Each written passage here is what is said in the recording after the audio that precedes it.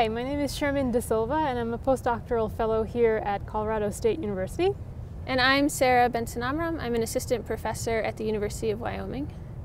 And we're excited to talk to you today uh, about our experiences as field biologists for this uh, series on skirts in science conversations. So, Shermin, I'm really interested to hear more about your work with Asian elephants.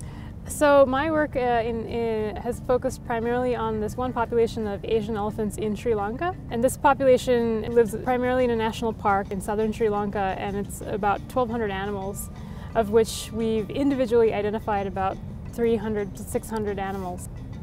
We collect information um, on their social behavior, we collect data on their demography, new births and, and deaths and injuries and that sort of thing. But what made you particularly interested in elephants? Actually, funny because I wasn't particularly interested in elephants as such. I was interested broadly in studying social intelligence and communication in animals. And I just kind of went through a list. I made a list for myself of all the different species that are interesting socially and communicate. Elephants seem really interesting from all the research that had been done in African elephants. And I happen to be from Sri Lanka originally, so um, I know that in Sri Lanka, growing up, like we had, you know, there were just elephants around, and that and it was just always sort of in my awareness that we had elephants in the country. But I was really surprised actually uh, to learn that um, Asian elephants are quite endangered. And so um, my other interest was to, tr to try to do work that would be relevant to conservation eventually. So of all the different species that I could work on, it made sense to work on Asian elephants because Sri Lanka is home for me in, in, in some in, in many ways. And um, it seemed like I could potentially contribute something to the understanding of that species. You hear a lot in the news lately about African elephants and a horrible poaching epidemic and how we really have all these conservation issues to worry about with African elephants. Are Asian elephants facing the same conservation issues or are they different? That's a really good question, and I'm really glad you asked that. Um, and it's true. So you, you, hear a lot of coverage, uh, if there is coverage at all, about the conservation issues for elephants. You hear a lot about the ivory poaching crisis. And um, it is a global issue because the, the trade is global. But that's largely a problem for the conservation of African elephants because African elephants, um, just uh, in terms of their physical uh, attributes, males and females both have tusks. So for African elephants, um, ivory poaching is a critical problem for both males and females. Now, for Asian elephants, uh, as a species, the females never have tusks.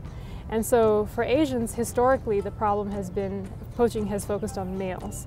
But you can see already that, you know, if, if females are half the population, in some places they're more than half the population because of this poaching pressure, it means that the majority of the population is tuskless. And for that reason, ivory as such is not uh, the, the main threat for Asian elephants. So for Asian elephants, the, the, the issues are a lot more diffuse and um, uh, difficult to pin down. Things like habitat loss, you know, loss of their primary range forests and grasslands that they, that they need. Um, and then going along with that, situations that bring them into conflict with people like agriculture, large-scale plantations, mines, roads, that sort of thing. And so there's a lot of different issues, environmental ecological issues that come up in, in Asian elephant habitat. And what about yourself? You, so you've spent some time in, uh, in, in, Kenya and you've worked with, with African elephants as well as a lot of other species too. So um, tell me a little bit about your experience. Well, I, I'm mostly interested in animal intelligence. So what do animals know about their social and ecological environments? How do they learn? And then once they've learned, how do they use that information in adaptive ways? Uh, and also questions about how intelligence even evolved in the first place. So trying to understand the various factors that led to the evolution of intelligence. so I've been able, fortunately, to uh, ask that question or those types of questions and look at it in a variety of different species and in a variety of really fun places uh, to live. My PhD research was focused on spotted hyenas and all of that work for the most part was done in Kenya. And uh, for anyone who's watched The Lion King, spotted hyenas aren't always the most obvious choice for asking about intelligence in animals. but Yeah. they're really smart and they um, their societies are actually really similar to Cercopithecine primates. So those are primates like baboons and macaques, uh, vervet monkeys, things like that. And so hyenas have these really complex social groups. They're large. Uh, they have really interesting uh, social rank dynamics. So uh, in hyenas, all the females actually outrank the males. So it's female dominated society.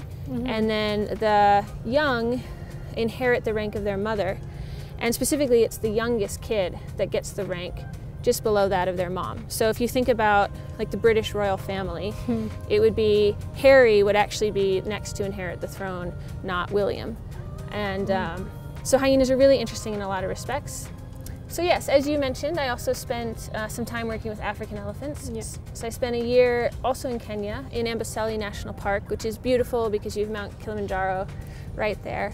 And uh, I was looking at communication in elephants for that project and just trying to understand sort of the, the depth of their different communication signals and whether or not the actual signals that they use in different situations are structurally different. So trying to sort of almost classify words Mm-hmm. or phrases. So it's really interesting that there is these different, such different conservation concerns with African and Asian elephants. And I'm, I'm sure a lot of us, myself included, would be really interested in helping. Is there anything that we can do to help Asian elephants? Yeah, so um, actually, I founded a nonprofit um, based in the U.S., um, both to help my work and also to help you know com- communicate uh, the conservation issues. Um, and it's called trunksandleaves.org. Uh, th- that's the website. And anyone who's interested in learning more about Asian elephants um, and their conservation issues can connect with us there online. So I encourage you to go visit that. Well, this has been great. Thank you. It's been really interesting and fun to chat more. And I'm really glad we had this conversation with Skirts in Science. Same here, and thank you very much for joining us.